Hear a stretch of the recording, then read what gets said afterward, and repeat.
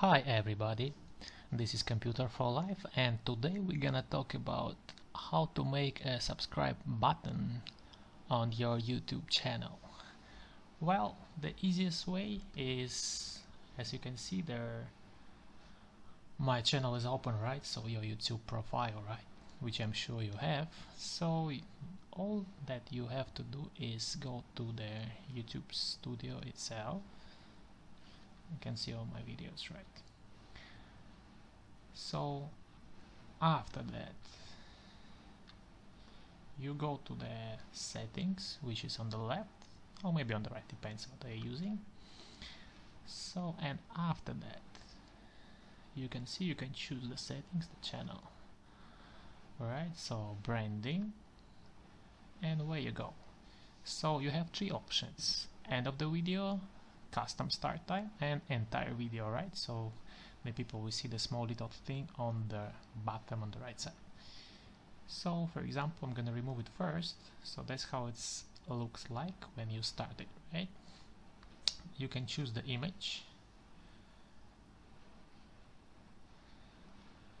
Right go desktop. Okay. YouTube Alright, so I already have an image, I show you how to find it, where you go. So you can just choose if you want it like entire video or only like in a particular time and save it. So now if you go to any of your videos, right, for example, I will take a look in one of mine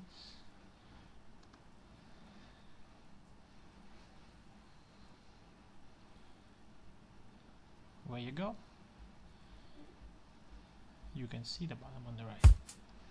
To find the image right you can just go to the Google. And just type subscribe button PNG format. Right so try to find something without the background. That's easy. So anything you like just be sure it's a particular size 150 to 150 pixels. Alright so transparent and just save it as a png file. Right that's it. Thank you very, mu very much for watching and if you want to see more videos right you can just subscribe.